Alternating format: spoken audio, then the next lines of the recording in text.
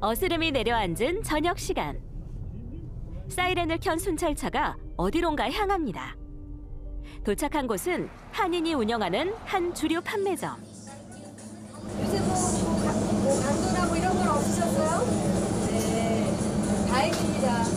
다행입니다. 네. 저희가 정기적으로 이렇게 돌고 있어요.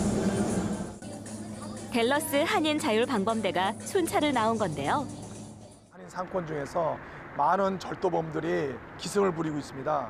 경기가 뭐 침체돼 갖고 뭐 그런 영향도 있겠지만은 그래도 아무래도 약한 우리가 이민자이다 보니까 많은 분들이 이렇게 어, 타겟으로 노려서 저희가 나서게 됐습니다.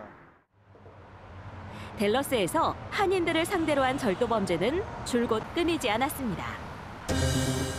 주로 한인마트에서 장을 보고 주차장에서 물건을 싣는 사이 절도를 하거나 은행에서 현금을 찾아 나오는 한인들을 뒤따라가 돈을 빼앗기도 합니다.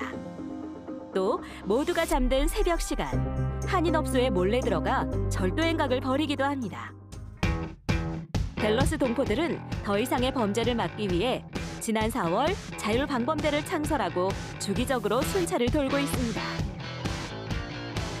이렇게 신경을 써주시니까 저희들이 좀 더 편안하게 또 손님 또한 편안하게 식사하러 오실 수 있고 뭐 아주 좋은 일이죠. 심적으로 더 한국 분들이다 보니까 더 소통이 잘 되잖아요. 그래서 더 오히려 심적으로 더 안정감이 되는 느낌이 있어요. 방범대가 활동을 시작한 지 6개월 남짓.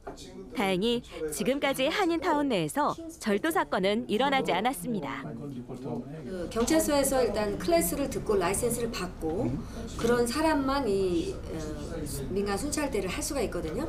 그래서 저희가 그 차에다가도 이 사인을 붙이고 예, 민간 순찰대라는 사인도 붙이고 저희가 교육받은 그 우리 민간 순찰대 라이센스 있는 분들이 저희 차를 타고 한인타운에 여기저기 예, 상가 있는 곳들을 두르면서 혹시 그런 범죄가 일어나지 않는가 두루두루 보면서 범죄가 일어나는 게 혹시 있다 그러면 우리가 신고도 해드리고 델러스 동포들은 한인타운의 안전을 스스로 지켜가고 있습니다.